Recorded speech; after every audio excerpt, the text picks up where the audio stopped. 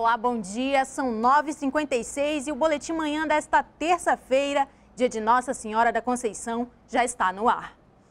Hoje é dia de Nossa Senhora da Conceição, padroeira do Amazonas. A procissão desse ano terá alterações devido à reforma na Avenida Eduardo Ribeiro. Sara Alencar tem as informações. Isso mesmo. A primeira missa começou às 7h30 da manhã e foi presidida pelo padre Charles Cunha. Às 10 horas, outra missa deve ser celebrada aqui na Igreja da Matriz. E à tarde, os festejos em homenagem a Nossa Senhora da Conceição, padroeira do Amazonas, devem continuar. Às 15 horas, tem a reza do terço. Às 16, o ofício de Nossa Senhora. E às 17, a tão esperada procissão, que esse ano teve o trajeto alterado devido a obras na Avenida Eduardo Ribeiro. Cerca de 80 mil fiéis são esperados. Os bispos da América Latina decidiram que a coleta do dia 8 de dezembro será, será destinada aos cristãos perseguidos na Síria e no Iraque. E para encerrar o dia, a tradicional missa campal, que vai ser realizada no cruzamento da Avenida 7 de Setembro. A missa vai ser celebrada pelo arcebispo de Manaus, Dom Sérgio Castriani, e o padre Charles Cunha. Para mais informações, acompanhe os nossos telejornais. Eu volto com você aí no estúdio. Obrigada, Sara. Quatro pessoas ficaram feridas no início da manhã de hoje em um acidente de carro. O caso foi na Avenida Grande Circular, no Cidade de Deus, zona norte de Manaus. O motorista Igor Lima estaria em alta velocidade. Ele perdeu o controle do veículo e capotou diversas vezes. Um dos passageiros, Jorge de Souza, foi arremessado do carro e sofreu ferimentos graves. Ele está no Hospital João Lúcio. E mesmo com a crise, tem empresa investindo em um novo visual e no conforto. Tudo na tentativa de atrair os clientes e aumentar o faturamento. Os detalhes do prédio antigo chamam a atenção na fachada. O prédio que antes era uma fábrica hoje dá lugar a uma das lojas mais antigas de Manaus, a TV Lá. Completamos 52 anos a empresa. Ela, ela foi fundada exatamente no ano e no mês da Revolução.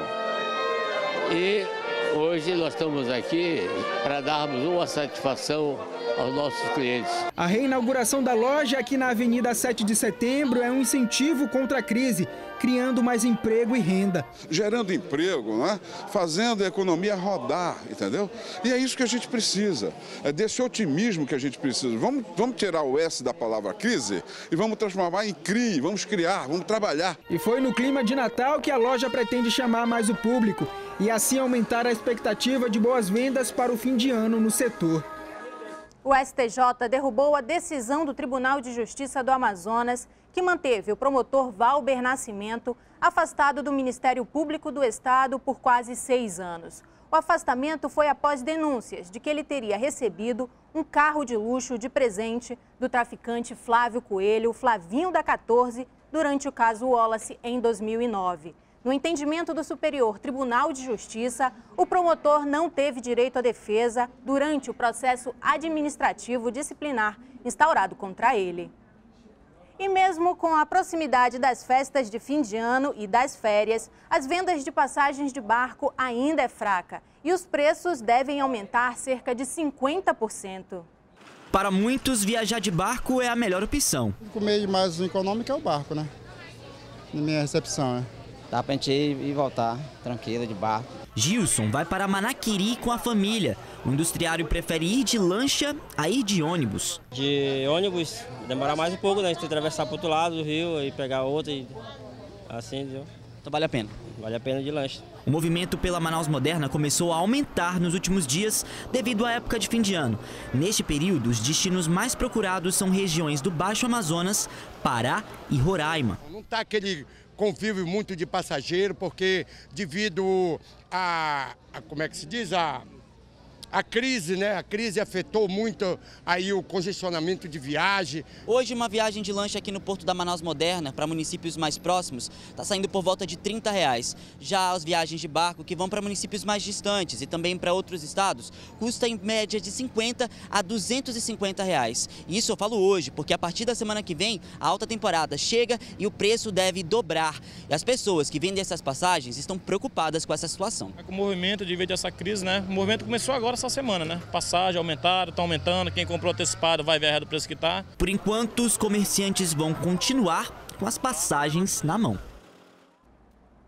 É, mas não tem crise que faça os apaixonados por Natal desistirem da decoração. Há quase 15 anos, um professor de artes tem a tradição de transformar parte da casa dele em uma verdadeira cidade de Natal.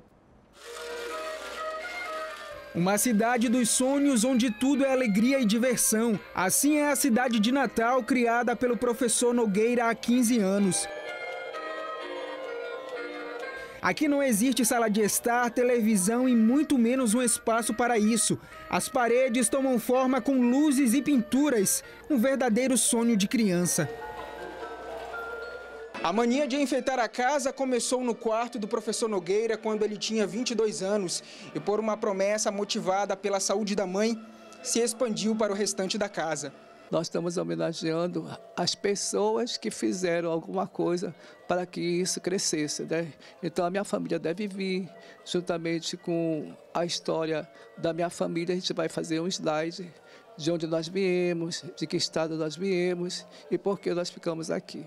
No ano de 2004, o professor chegou a pensar em desistir de continuar enfeitando a casa depois de perder a mãe. O quarto deu lugar aonde fica o presépio, por ela ser muito religiosa. Hoje o local recebe a ajuda de várias pessoas. O sonho continuou. Nós tivemos crise, mas tivemos pessoas que ajudaram. Este ano, né, graças a Deus, não ficou somente no meu bolso, porque de repente eu gasto quase todo o meu ordenado nisso. Nogueira é professor de artes e olha, o projeto de decorar a casa só está assim com a ajuda deles, os antigos alunos. E após o término de, da nossa época de dança, nós nos tornamos amigos, né, amigos de uma vida toda, e nós agregamos ao projeto. A casa do professor Nogueira hoje é conhecida na comunidade por ser assim, quase toda enfeitada.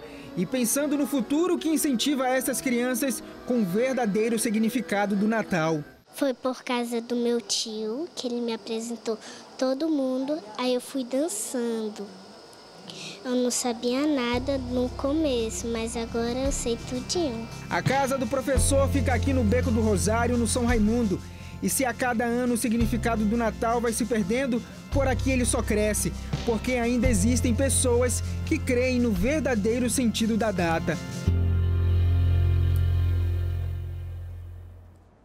Não tem crise que faça o espírito natalino sumir. Boletim Tempo Manhã termina aqui, são 10 e 4 da manhã. Outras informações você acompanha daqui a pouco, às 11h05 no programa Agora. Um ótimo feriado para você e até a próxima.